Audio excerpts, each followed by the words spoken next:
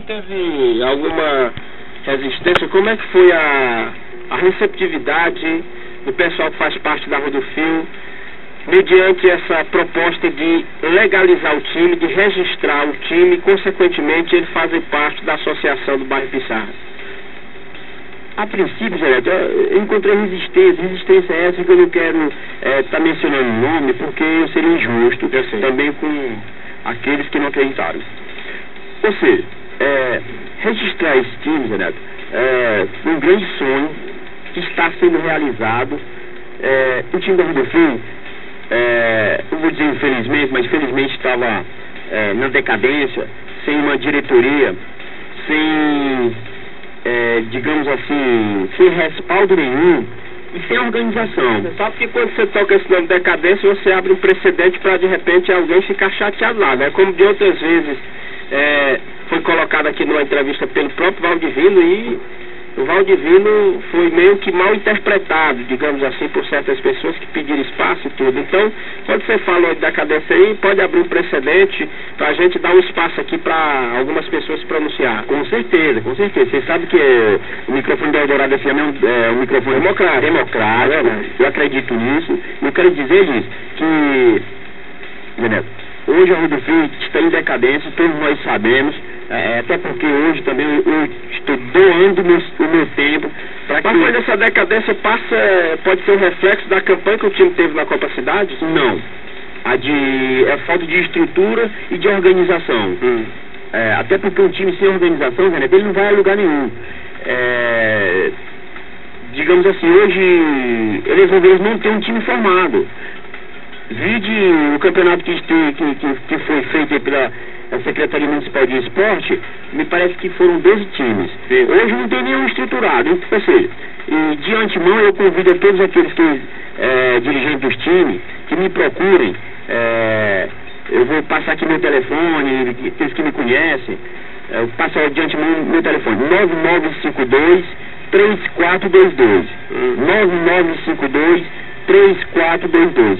E, e quero dizer também que eu vou estar é, comunicando a todos aqueles que fazem parte da diretoria dos times daqui de Alesmogroso para mim, para nós sentarmos é, e futuramente é, colocarmos uma liga independente aqui na cidade de Alesmogroso. O meu passo é, eu dei que foi, é, eu digo eu, Zé Neto, porque eu fui um dos prepulsores para estar é, registrando o time do para esse caso independente de qualquer situação política é, nesta cidade. Até que ponto essa legalização, Marconi, do time da Rodolfo pode de repente vir acrescentar em algo, a melhorar em termos dessa estrutura que você reclamou? Você disse que não foi reflexo do, do time a campanha, não foi. Você reclamou mais da questão da estrutura. Então, a partir dessa legalização, que, o que podemos esperar? Por exemplo, vou dar um exemplo clássico. Me parece que aqui não tem nenhum time com sede própria. Uhum. É um dos passos fundamentais que, que a gente vai buscar. É, e a organização, quer dizer o seguinte, ao longo do, do, do, do, ano, a gente tem que ter um time pronto. Amanhã é, a gente vai poderemos representar Lesmão Veloso uh, em qualquer cidade que esteja aí. É, seja campeonato aqui, micro-região, ou até mesmo é, a nível estadual. E outra, a gente é, sendo conhecido, abre espaço para aquele jovem que é, destaque para aquele jovem que é, poderá surgir um craque nesse time. Por falar nisso, você tem procurado trabalhar a garotada ali do bairro. Eu sou testemunho que semanalmente, diariamente, durante seis dias da semana, com exceção de domingo, me parece é do sábado, você está lá treinando a, a garotada lá na quadra de esporte. Aí é onde que entra a decadência. É, a Rua do Fio não tem atleta é, à altura para nós formarmos um time hoje. Então, nós temos que pegar aqui e acolá. E é, essa iniciativa minha, esse tempo que eu estou doando ali na quadra da Rua do Fio, é justamente para isso, para amanhã nós formarmos nosso atleta. Requerimento esse que ao é, secretário, ao secretário, requerimento esse que está na mão dele, eu tenho uma cópia, a associação tem a cópia original, Ela foi feito descascado, Marconi? Descascado. Inclusive o, o, o senhor Baladeiro, eu pedi encarecidamente para ele estar indo lá, ele foi lá, verificou.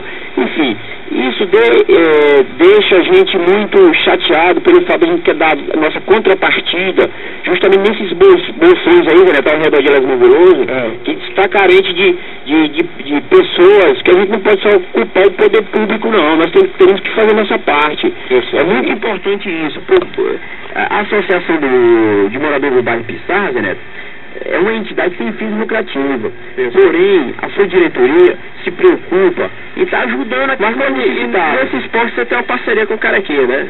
Bom, Carequinha tá aí, o Carequinha, né? Carequinha é muito importante, é. porque o, o, estatuto pede para que nós colocarmos um, um, um time feminino. Eu é, vi na pessoa dele uma pessoa que esforçada, esforçada né? há mais de 20 anos, cuida dessa parte de futebol feminino, eu não poderia de antemão de, de não estar tá acolhendo ele para nós. Conversei com ele, ele, ele ficou assim um pouco ranzinho, ali desconfiado, tipo mineiro, entendeu? Sim. Mas ele abriu a mão para mim, abriu a mão, abriu espaço e aceitou. Aceitou, quero dizer que ele é um pai para a menina e, e ele é esmoveloso tem um, um, um, desportista que chama Carequinha. Esse aí é desportista, isso é, é, é inegável. Na verdade, eu sei que recebo críticas, inclusive, é, porque dou espaço o Carequinha aqui. Mas enquanto eu estiver aqui na FM Dourado, o Carequinha vai ter o espaço dele aqui. Muitas pessoas eu sei que não gostam. Muitos gostam, mas algumas pessoas são contrárias. Você, é, você tá também. Eu sei disso. Você, desculpa, você está mencionando isso, né? Eu tô também esse espaço meu aqui, eu, eu vejo que as, tem, há pessoas que olham com os olhos diferentes. Então eu quero dizer que esse espaço aqui não é meu, não, é do povo. É, é do povo. E, e eu estou falando, em, não é em nome de Marconi, Marconi Alves lá da Rua do Fim. Eu estou falando em todo o nome é, dos moradores do bairro Pissar e, e, da cidade de Elas Veloso. Porque quando eu, eu, eu falo bairro Pissar, é um bairro que está agregado à associação dos moradores de lá. Eu quero dizer também que todas as manhãs não fiquem chateados, está lá para as portas abertas, de segunda a sexta, das 8 às 11, das 12 das 12 às 14, quer dizer que está aberto para todos lá chegarem. É, e de antemão, né, quero agradecer aqui, não está aqui, o presidente da associação, que é um menino esforçado, é Grande Mirandinha? Grande Mirandinha, ele está lá em Teresina. Outra coisa, a gente sem assessoria não é ninguém. É ele estava lá, as portas é, estavam abertas, nós conversamos com a diretoria. Diretoria essa que hoje eu, eu quero agradecer de antemão e estou muito contente porque é, foi um passo que, eu, que a Rudolfi deu. Foi um passo que a Rudolfi deu. Eu não estou aqui dizendo que, que eu vou fazer aquilo. E também eu fiz a minha. Eu fiz a minha, minha parte. Eu também quero dizer aqui, né, no, no, no, microfone da rádio da, da Eldorado FM, uhum. que então meu projeto de, de, da parte de, de esporte, eu cumpri com o Rudolfi. Eu sei. Eu, tá cumpri, com, disso, eu, né? eu cumpri com o do fim, porque a partir do momento que o Mirandinho abriu um espaço para mim como presidente e o diretor abriu espaço, eu fiquei, eu estou muito contente, fiquei bastante contente e minha área não é essa, minha área é, é meio ambiente. Eu sei. Eu quero dar um passo muito importante que é, é chamada Agenda 21. Pega mim, por gentileza. É chamada Agenda 21, galera. A Agenda 21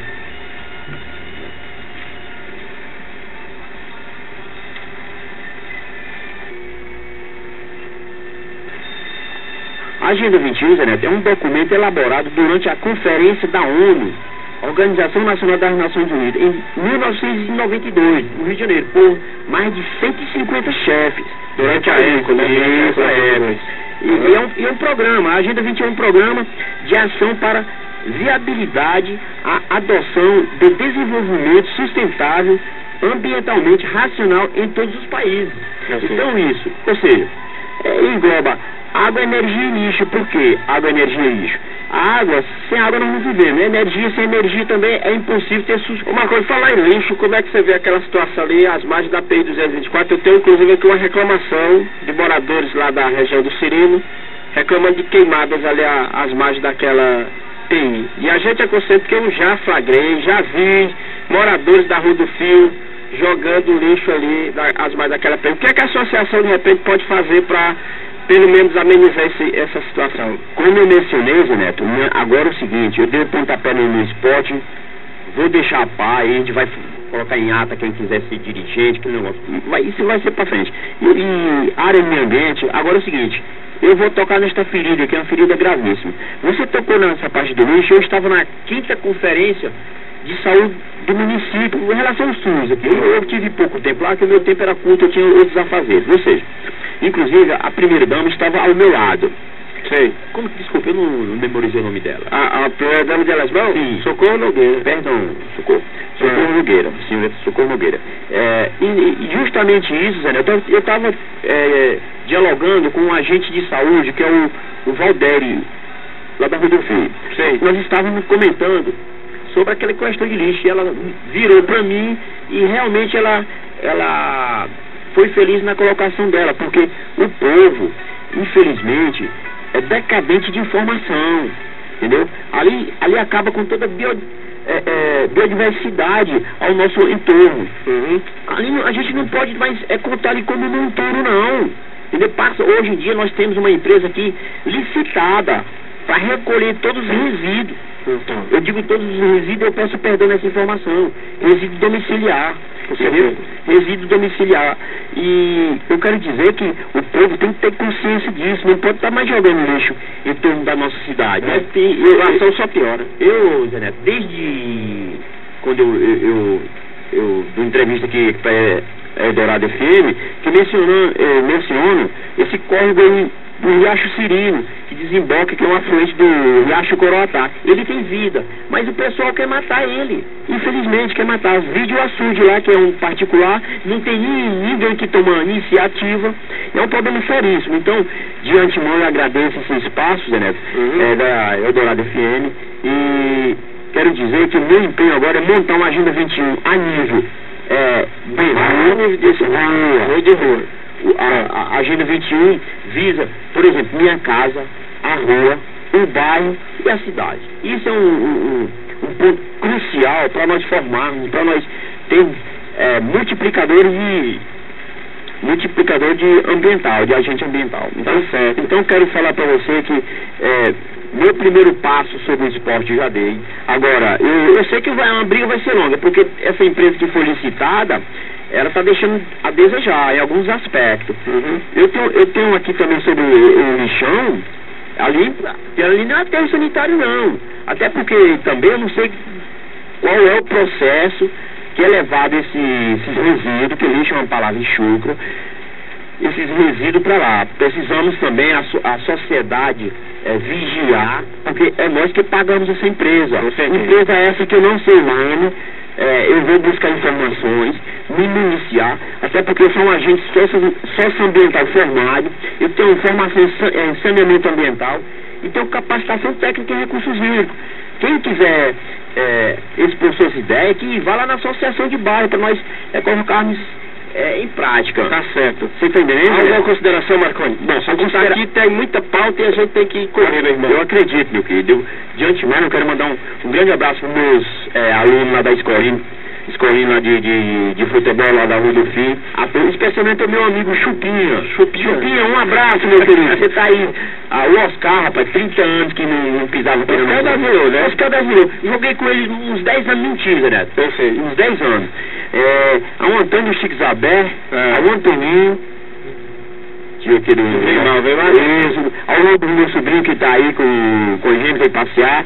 É, um abraço, meu, o tio te adora. E a todos os, os lesbonenses, né? Da zona urbana, zona rural, ou cabeça Você tá branca. dando grito aí das meninos? Gri- Grito, grito, o... o, Bora, moleque! Puta, é, porque moleque! é o seguinte, Neto, eu me considero como pai, eu me considero como pai. Então um abraço ao Cabeça Branca, a todos aqueles em torno da Rua do Fio aí, Elesmonense, não Elesmonense. Eu fico muito gratificado em estar aqui nesse espaço aqui, Neto, um espaço um espaço democrático, e dizer que eu, eu tava com saudade desse microfone. É. É, porque também é o seguinte, eu não poderia de deixar é, de dizer, Zé Neto, que é, eu só poderia vir aqui quando Uhum. esse time fosse Legalizado. legalizado. Então, é o seguinte, quando a Agenda 21 for legalizada na rua, Hum. eu espero que você me dê um espaço. Com certeza, Marconi. Um abraço, meu querido. Valeu. breve. Vamos continuar falando de, de esporte. O Marconi falou de esporte, entrou aí um pouco na, na questão da, do meio ambiente aqui em Lesbão Veloso.